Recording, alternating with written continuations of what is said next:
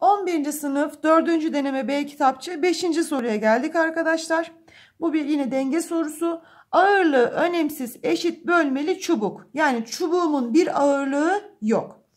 P ve 2P ağırlıkları cisimler şekildeki gibi asılmış. Çubuğun dengede kalması için işlemlerinden hangileri tek başına yapılabilir diyor. Tek tek bakacağız. Önce hatırlamamız gereken bir durum var. İple asılı cisimlerin denge şartı neydi? Ağırlık merkezinin nereden geçmesi gerekiyordu? İpin hizasından. Dolayısıyla az önce bahsetmiştik. Bakın dikkat edin şuradan geçmesi gerek. Dolayısıyla şu noktaya göre torkunun sıfır olması gerekiyor. Önce sol tarafın torku ne kadar buna bakacağım. Eşit bölmeli demiş. Dolayısıyla ben her bir bölmesinin mesafesine D kadardır diyeceğim. Dolayısıyla bakalım sol tarafta ne var? Bakın P çarpı 2D artı 2P çarpı D. Bakın eşittir diyeceğim. Sol tarafta toplamda 4P çarpı D'lik neyim var?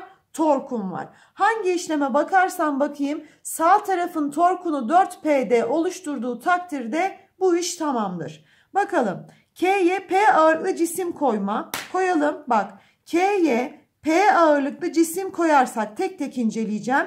Uzaklığı ne kadar? 4D kadar. Birinci şeklime bakıyorum bak. P çarpı 4D ne yaptı? Tuttu. Dolayısıyla dengede kalır.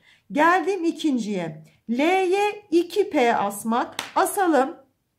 Bu gitti. Tek tek yapıyorum ayrı ayrı. L'ye 2P'mi astım. Bakın dikkat edin. Eşitliğin sağ tarafını tekrar yazıyorum. 2P çarpı kuvvet çarpı dik uzaklıktı. 2P çarpı 3T'den burası ne yaptı? 6PD yaptı. E benim sol tarafımda 4PD vardı.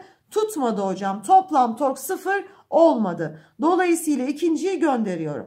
M'ye 3P ağırlığı asmak diyor. Asalım. M'yi alalım. 3P'yi koyalım. Bak dikkat. Üçüncü inceliyorum. Eşittir dedim. Bak kaç P asıyorum? 3P. 3P çarpı 2D. Ne yaptı? 6PD. Fakat benim solda 4PD vardı. Yine tutmadı. Üçüncüyü de gönderdim. Daha sonra en son dördüncümüz neymiş? N'ye 4P asmak. Bunlar gitti. N'ye 4P asıyorum. Bak 4P.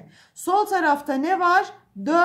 4PD var eşittir dedim. Sağ tarafta 4P çarpı D baktım eşitlik sağlandı. O zaman dengede kalabilir diyorum. Dolayısıyla cevabım 1 ve 4 yapabiliyor. Neresi? C şıkkına gidiyor arkadaşlar.